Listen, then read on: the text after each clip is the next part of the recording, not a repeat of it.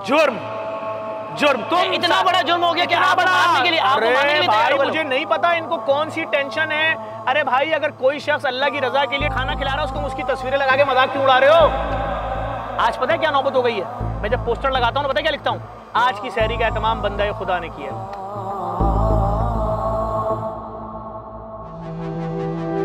उनका ना फड्डा मेन्यू से है ना उनका फड्डा दस्तरखान से है ना उनका फड्डा शुतुरमुर्ग से है, ना उनका फड्डा चरगे से है, ना उनका फड्डा मंदी से है। उनका फड्डा है कि ज़फ़र अब्बास तुमने इतने कम अरसे में कराची की हर चौरंगी पे फ्री डायलिसिस सेंटर क्यों खोले?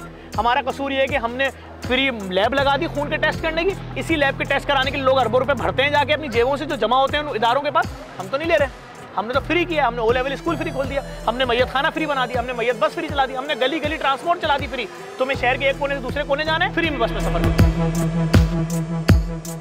एक खुदा का बंदा अल्लाह की रजा के लिए बहुत पैसे वाला खाना खिला रहा है। आप उसकी तस्वीर के ऊपर कार्टून बना बना के चला रहे हो। कि आज ये सेट है? इसकी बहन को गाली बक्को, इसकी माँ को गाली बक्को, इसकी बेटी को गाली बक्को। चालीस चालीस हज़ार लोगों को वो डिशें खिलाई जा रही है जो कोई अफोर्ड ही नहीं कर सकता। पच्चीस पच्चीस हज़ार लोग आ रहे हैं नॉर्मल डेज़ में। हफ़्ता इतवार चालीस हज़ार लोग हैं। उसका कसूर क्या है? वो कल से बोलेगा ओके भाई, अगले साल नहीं खिलाऊँगा। अगले साल नहीं खिलाऊँगा। एक बहुत बड़े रेस्टोरेंट के मालिक ने यहाँ, अभी थोड़ी दिनों पहले उसने यहाँ प्रॉन मंदी खिलाई कि यार, एक आम आदमी प्रॉन मंदी नहीं खा सकता खरीद के यार। अगर पूरी फैमिली के साथ जाएगा, तीस चालीस हज़ार का बिल बनेगा प्रॉन मंदी मछली की मंदी भी बन जाता है दस बारह बीस हज़ार। उसकी तस्वीरें लगा के मज़ाक उड़ा रहे हैं और हंस रहे हैं पेट पकड़ के। जिस वक्त ये लोग मेरे खिलाफ झूठी मीम्स बना रहे होते हैं ना, सैकड़ों बाप, सैकड़ों माएँ हमारी मशीन पे लेटे हुए डायलिसिस करा रही होती हैं, उनका खून निकल के मशीन में जा रहा होता है, वापस जिसम में आ रहा होता है और एक मरीज़ का खर्चा एक बार के डायलिसिस का साढ़े सत्रह हज़ार रुपए। जिस वक्त मेरे खिलाफ झूठी मीम्स बना रहे होते हैं ना तीस तीस हज़ार खून के टेस्ट हमारे यहाँ मशीनों पर हो रहे हैं। फजर के बाद खुल जाएगा, जाके देख लेना सारे। मज़ाक इनका आज का नहीं है मेरे साथ। हर तीसरे महीने मेरे खिलाफ एक झूठी कैंपेन चलाते हैं। आप सोचो, एक एक ऐसा आदमी जो माशरे में करप्ट आदमी है, वो आदमी लोगों को पैसे ऑफ़र कर रहा है कि यार आपकी लोग सुनते हैं, आप साफी हो फलाओ दिमाग हो या चलो छोड़ो, कोई इंसाफी भी नहीं हो, आप हो इन्फ्लुएंसर हो, ये लो पैसे, जेडीसी के खिलाफ कैंपेन चलाओ। सब छोड़ो, जिसके पास खाने का पैसा नहीं है, उसकी आईडी से स्पॉन्सर पे कैसे लग रही है। पोस्टें सिर्फ़ एक टारगेट है कि बंद करो। इतनी इन्होंने इन्होंने जश्न मनाया कि हमने ज़फ़र को इतना जलील कर रहे हैं, ज़फ़र की माँ बहन को गालियाँ बक रहे हैं, ये कल ऐलान करेगा, शहरी खत्म। यार बताओ हसन भाई तुम्हें कसम है खुदा की। अगर आज कितने लोगों ने सैरी की होगी तुम्हारे घर में? कितने ट्रक देखे आई हैं तीस से पैंतीस हज़ार लोग। की होंगी? रफली। रफली। मैं इसको आधा कर देता हूँ। सत्रह हज़ार लोग साढ़े सत्रह हज़ार।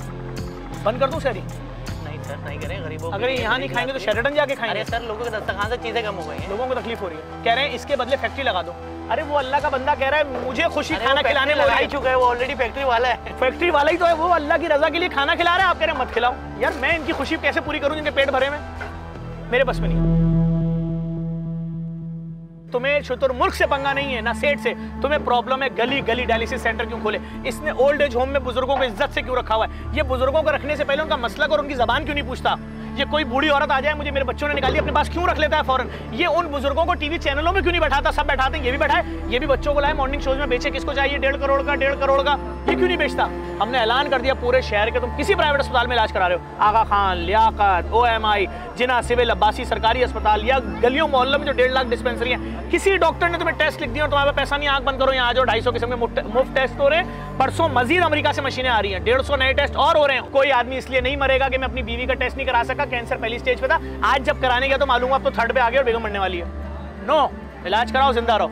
ये ये डर रहे हैं ये कह रहे हैं अगर लोगों ने अपनी जक़ात जेडीसी को दे दी दोबारा अगर लोगों ने महीने के डोनेशन जेडीसी को दे दिए तो ये फैला देगा काम बंद करवाओ। ज़फ़र मैंने सब कुछ देख लिया। यकीन नहीं आ रहा है कि मैं पाकिस्तान में किसी इदारे में खड़ा हूँ। मुझे कोई शख्स आके बोले कि यार ज़फ़र भाई ये पैसा ले मुझसे और जाके मस्जिद में दे दें अतिया। ठीक है? उस शख्स ने मुझे पैसा जो दिया बहुत बड़ी रकम थी क्योंकि सेठ था। और उसने कहा अतिया दिया मस्जिद में दे दे मैंने ले आके दे दिया। वही शख्स मुझसे कह रहा है, ज़फ़र बेटा, इस पैसे का खाना गरीबों को खिला दो।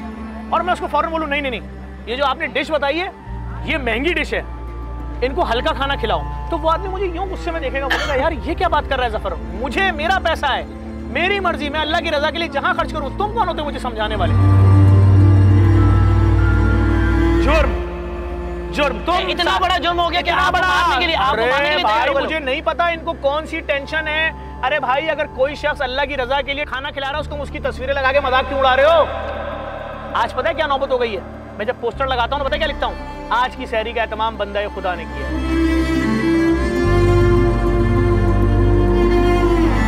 इनके मीम्स बनाने से ये हो सकता है कि वो डायलिसिस के मरीज़ जो हर इलाके में फ्री में करा रहे हैं, शायद मुझे किसी एक सेंटर में लिखना पड़ जाए कि भाई पैसे खत्म हो गए, आप लोग अब जाइए, अल्लाह मालिक है आपका भाई, अल्लाह पहले भी मालिक था, अल्लाह ही करा रहा था। लेकिन अब आप किसी सरकारी अस्पताल में जाएँ या फला जगह जाएँ जाएँ नंबर लगवाएँ वेट करें, इंतज़ार करें, और शायद आपका हफ़्ते में दो दफ़ा डायलिसिस हो, मैं तो तीन दफ़ा कर रहा था, बगैर पैसा लिए एसी रूम था टीवी भी लगा था टच बेड था आपका, ये इसलिए साजिश करी है। मैं तो फिर आपसे कह रहा हूँ, देखें, मुझे अभी भी लोगों का फ़ोन आ रहा है। एक डोनर का फ़ोन आया कि, ज़फ़र, हम तुम्हें इतनी जक़ात देते थे, बाकी इधर, बाकी उधर बाकी उधर, बाकी यूँ यूँ करते थे हम। लेकिन इस बार सारी तुम्हें देंगे हमें नज़र आ गया है तुम्हारे खिलाफ क्यों है तुम्हें क्यों गंदा कर रहे हैं तुम्हारे इदारे के क्यों दुश्मन बने? क्योंकि तुम जो काम आम कर रहे हो ना सबके लिए मोहब्बत का बयानिया फैला रहे हो ये बहुत मुश्किल। देखो यार हसन भाई लाइन सुनो। तुम इस शहर में रहते हो ना मैं क्या बोलता हूँ वीडियो से पहले? कि मैं बिला तफरीक रंग नस्ल मज़हब मसला काम हाँ, करूँगा। कभी देखा मेरे इदारे में जो मुसीबत ज़्यादा रहा मैंने उससे सवाल अभी एक माँ आई यहाँ पर कि मेरा शोहर बेड पे पड़ा हुआ ये देखो ज़फ़र तड़प रहा है उसके इलाज के पैसे दे दो। मैंने उस औरत से बोला अम्मा लिखवाओ डिटेल में करवाता हूँ। कुछ पैसे हैं? बोला नहीं। मैंने खाना है घर में? उसने बोला, नहीं। मैंने उसी वक्त बच्चे को बोला, कसम खा के बोल रहा हूँ, कुरान की पंद्रह हज़ार दिन राशन के। यार, मैं जानता हूँ, अपने शोर के लाश के पैसे मांगने ही घर में होगा ही नहीं खाना। तो मैंने तो नहीं पूछा, अम्मा तुम्हारी जबान क्या है, मज़हब क्या है मसला क्या? तो मुसीबत में थी, मैंने उसकी मदद की। देखो, जो हमारे पास मुसलमान आ रहे हैं, जक़ात से मदद कर रहे हैं। गैर मुस्लिम आ रहे हैं, कंपनीज़ का सी फंड है। सादात आ रहे हैं, उनका भी फंड है। मेरा जर्व देखो भाई, जब मैंने सैलाब में राशन बांटा, मेरे खिलाफ तब कैंपेन चली। जब मैंने कोविड में रिकॉर्ड दुनिया की सबसे बड़ी राशन ड्राइव की, चार महीने, दस दिन तक रोज़ाना पैंतीस हज़ार बोरे राशन दिया, सबको दिया जिसने मांगा मेरे खिलाफ। उस वक्त कैंपेन चली। अभी दो महीने पहले इन लोगों ने कैंपेन चलाई। प्री प्लान के ज़फ़र को सिंध गवर्नमेंट ने 22 अरब रुपए दे दिए हैं। जब मैंने उन लोगों को अब फ़ोन किया कि भाई, हमने तो मांगे ही नहीं थे और आपने झूठी कैंपेन पूरी दुनिया में चलाई जेडीसी के खिलाफ, आपको फ़ायदा क्या हुआ? तो हँसते हुए कह रहे हैं, हमने सिर्फ़ जेडीसी का इमेज खराब करना था। कहीं तुम मजीद फ्री डायलिसिस सेंटर ना खोल दो। कहीं तुम मजीद फ्री लैब ना खोल, क्योंकि मैंने पूरे पाकिस्तान में फ्री लैब खोलनी है। मैंने जिस तरह सियालकोट तक में फ्री डायलिसिस सेंटर खोल दिया, फैसलाबाद में ट्रांसप्लांट सेंटर खोल दिया, पूरे मुल्क में खोलूँगा।